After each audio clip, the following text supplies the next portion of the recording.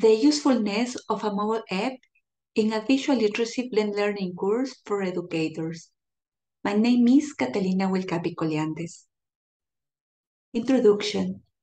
The visual mobile app was designed and developed to support a 20-hour blend learning course of visual literacy that was intended for educators. This study explores whether integrating the visual mobile app into teacher training was valuable for participants to enhance their visual literacy level. Method. It was used an ex post facto research design. A convenience sampling method was used. The data collection tool was designed ad hoc. It has three sessions. The first to know the participants' opinions about the usefulness of the app. The second, to learn the participants' experience in, in usage and understanding the interface. And the last one, to know the participants' comments about how the course and the mobile app support them to improve the planning and development of teaching material. Procedure. The questionnaire was sent online and it was anonymous. It was available seven days after the course, and the responses were automatically collected. Results. Most of the teachers who answered the questionnaire considered the visual mobile app a useful resource.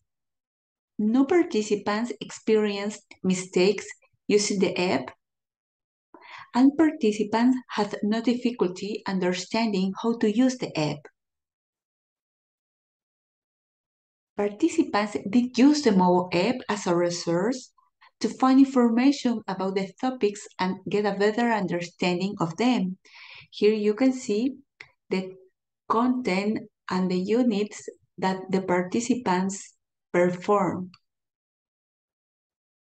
the results of the open-end questions are crucial because here participants recognize as beneficial for their teaching practice the visual literacy blend learning course and the integration of the visual mobile app.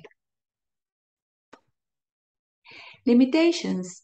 Only 49% of the course participants' opinions were collected. Maybe it happens because the questionnaire was anonymous and also voluntary.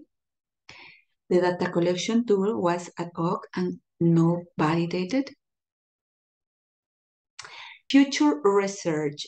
It is necessary to conduct a proper usability evaluation of the visual app with users and a validated tool. And also the results must be used to conduct a more exhaustive analysis of previous research data. Conclusions The integration of mobile technology for training requires well-planned incorporation because resources must help participants enhance their learning. Thank you for your attention.